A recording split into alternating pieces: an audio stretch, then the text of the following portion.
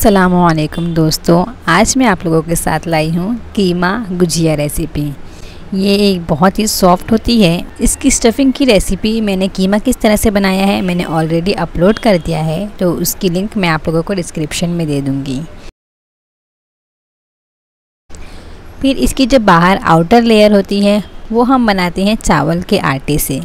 तो उसके लिए हमने क्या करना है, सबसे पहले चावल के आटे को अच्छी तरह से स्ट्रेन कर लेना है और उसको जब हम गूंधेंगे तो तो गूंदने के लिए हम गर्म पानी का इस्तेमाल करेंगे।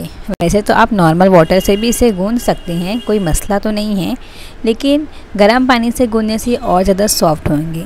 लेकिन अगर आपको ऐसा लगता है कि आपके चावल का आटा ज़्यादा अच्छी क्वालिटी का है तो आप वैसे, आप नॉर्मल वाटर से भी गूंद सकते हैं। मैं यहाँ इस स्पैचुला से इसलिए कर रही हूँ क्योंकि पानी थोड़ा ज़्यादा गर्म, क्योंकि पानी थोड़ा गर्म था इसलिए मैं यहाँ स्पैचुला से कर रही हूँ। उसके बाद जब भी थोड़ा सा नॉर्मल हो जाए, हमारे हाथ सहने लगे तो हम इसे हाथ से गूंद लेंगे। यहाँ बर्तन छोटा था तो मैंने इसे बड़े बर्तन में कर दिया है। आटे को बिल्कुल अच्छी तरह से गूंदना है। थोड़ा सा सॉफ्ट रहेगा आटा हमारा, और जब हमारा आटा गूंद जाएगा तो हमने इसके छोटे से पेड़े बना लेने हैं। और हमने यहाँ पे ड्राई आटा यूज़ करना है, वो भी चावल का आटा ही रहेगा। मैंने पहले इसका पेड़ा बनाया, अब मैं इसे हाथों की मदद से फ्लैट करूँगी। इसकी जो रोटी है, ये जितनी ज़्यादा पतली होगी, उतना ज़्यादा टेस्टी होगी।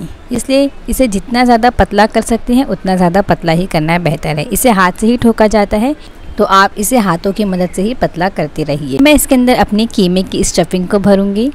स्टफिंग की क्वांटिटी आप अपने हिसाब से रखिए। और अब मैं यहाँ पर जो गुजिया का असल शेप होता है, वो शेप दे रही हूँ। यानी इसे चारों तरफ़ से मिला देना है। और यही गुजिया का असल शेप होता है, लेकिन इसे दूसरे शेप में भी बनाया जा सकता है। हम दो शेप में बनाते हैं, एक तो ये वाला शेप हो गया, एक आगे आपको दूसरा दिखाई देगा। गुजिया का ये शेप ही वैसे ज़्यादा अच्छा लगता है, दिखने में भी अच्छा लगता है, और खाने में तो वैसे दोनों टेस्ट सेम ही होगा। और अगर आप इस रेसिपी को पहले से जानते हो तो मुझे कमेंट में बताइए कि आप इसे पहले से जानते थे, क्योंकि बहुत सारे लोग ये रेसिपी नहीं जानते हैं। क्योंकि ये बेसिकली उत्तर प्रदेश की रेसिपी है और इसे ज़्यादा लोग जानते नहीं हैं, यानी पूरे इंडिया वाले से नहीं जानते हैं। और अब ये सेकेंड वाला शेप है कि आपने बस एक साइड पे हम अपनी स्टफिंग को रखना है और दूसरी साइड से मिला देना है। इसी तरह से हमने सारों को तैयार कर लेना है।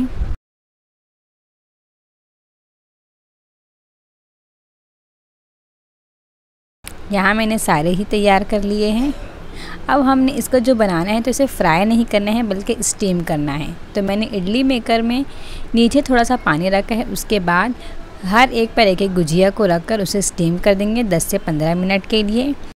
उसके बाद जब ये स्टीम हो जाएगा तो हमारा ये रेडी हो गया है और आप इसे सर्व करिए।